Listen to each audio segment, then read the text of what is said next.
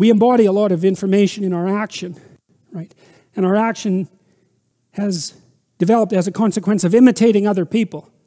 And not only the people, the people around us, but of course the people around us imitated the people who came before them, and those people imitated the people who came before them, and so on, so far back that it's as far back as you can go. And so you embody these patterns of behavior that are extremely informative that you don't understand, that are a consequence of collective imitation across the centuries. And so then those patterns can become manifest as figures of the imagination.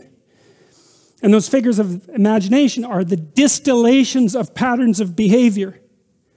And so, as the distillations of patterns of behavior, they have content. And it's not you, that content. It's, you could even think about it as content that's evolved, although it's culturally transmitted. It's content that's evolved. And so these figures of the imagination can reveal the structure of reality to you. And that's what happened with Jung. And that's what he described in the Red Book. And that was what permeated his psychology, a psychology that was based on the presupposition that the fundamental archetypal structures of religious belief were not pathological, not deceitful, not protective in some delusional sense against the fear of death, but quite the contrary. The very stories that enabled us to move forward as confident human beings in the face of chaos itself.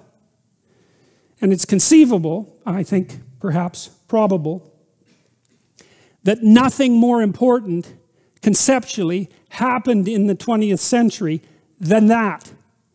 Because it was the first time post Enlightenment that a rapprochement between the intellect and the underlying religious archetypal substructure occurred. You have in the capacious intellect of Jung, and the same thing happened to some degree with Piaget, the religious domain and the factual domain were brought back together. And the fact of Jung's enduring and increasing popularity and influence, I would say, is a direct consequence of that.